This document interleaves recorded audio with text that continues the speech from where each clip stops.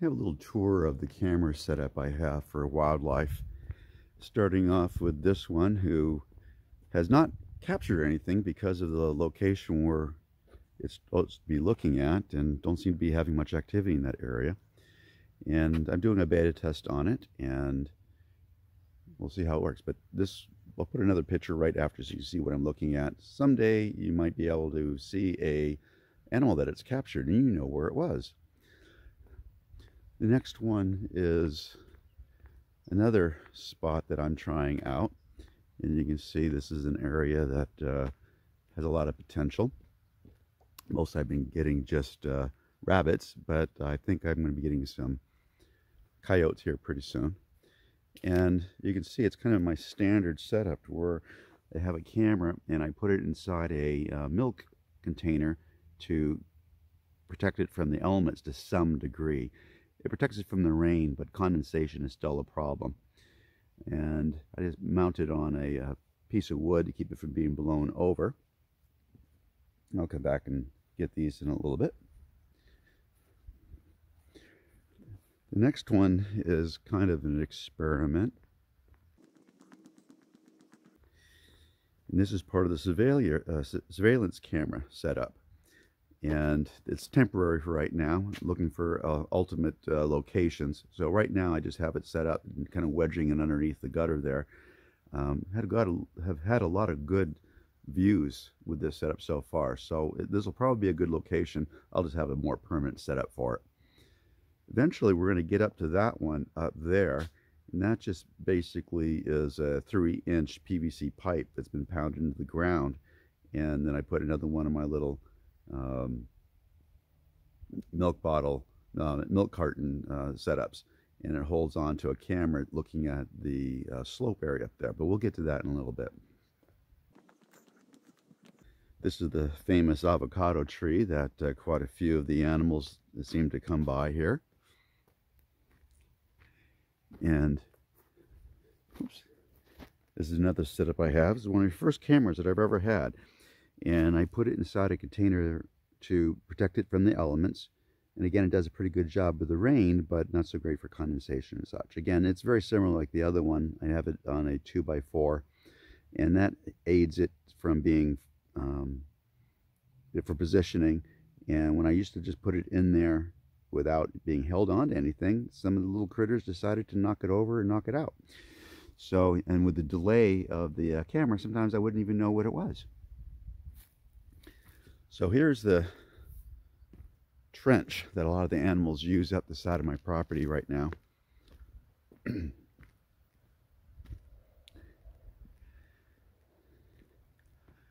it goes all the way up along the fence line here, all the way to the street.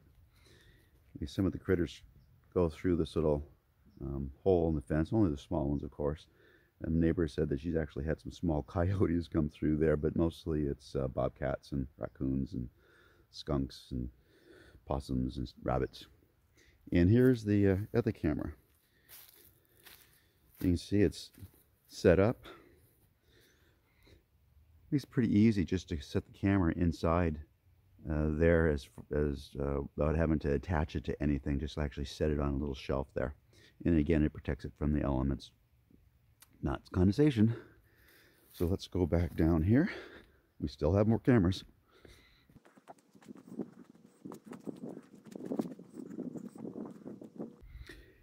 Here's another prime spot. Seeing coyotes usually coming into my property, coming down this trench area here.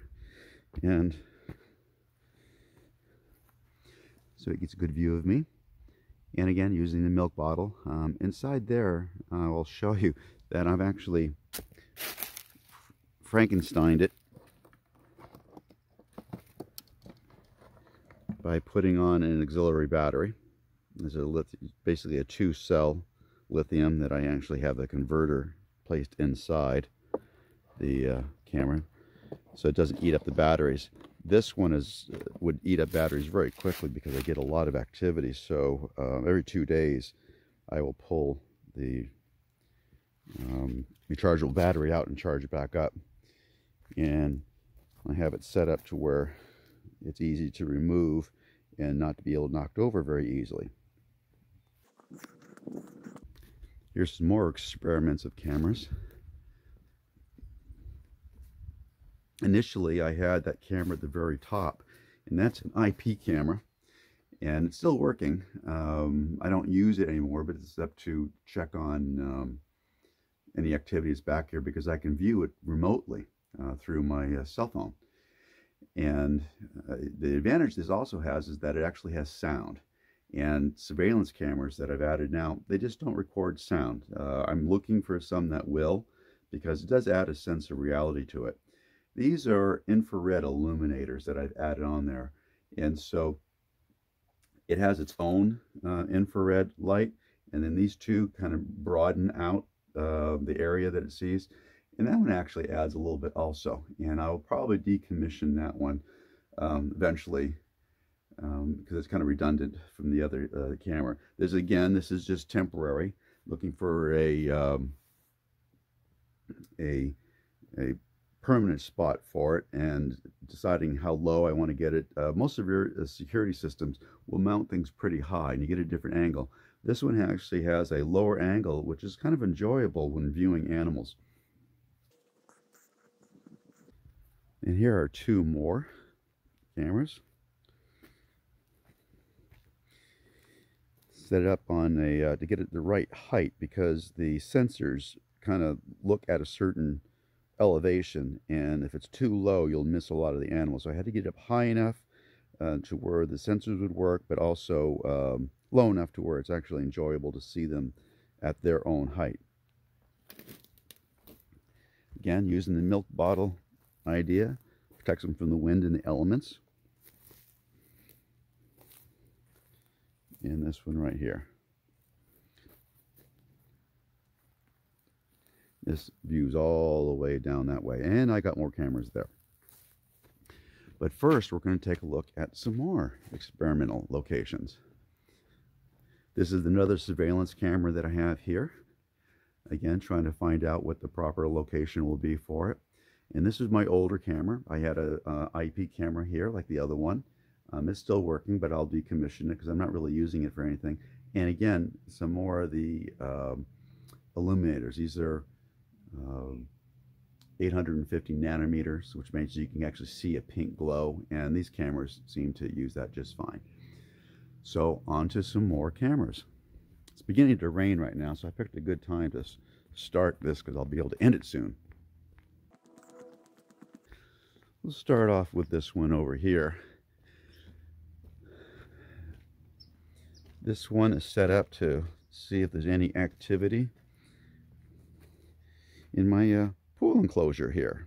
And it did catch one coyote a while ago, mostly rabbits, but it's um, not a frequently triggered camera. And we'll go to another one here.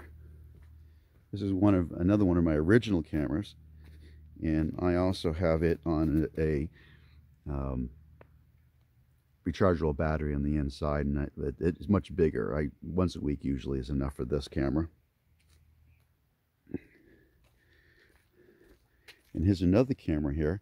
This is kind of Frankenstein again because the uh, mechanism inside for the LEDs to work stopped and also the trigger sets for the um, IR cut filter stopped. So I had to manually keep it in the position for nighttime.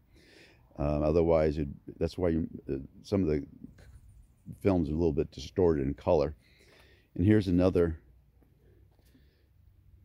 IR filter.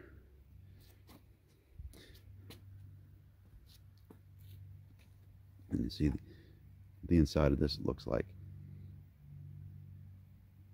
I have a different type of battery system. I have a 4.2 volt that actually is up voltaged up to 6 volts. But that lasts me over a month because it's not triggering any infrared LEDs, which is the biggest battery draw. And then on to our final camera.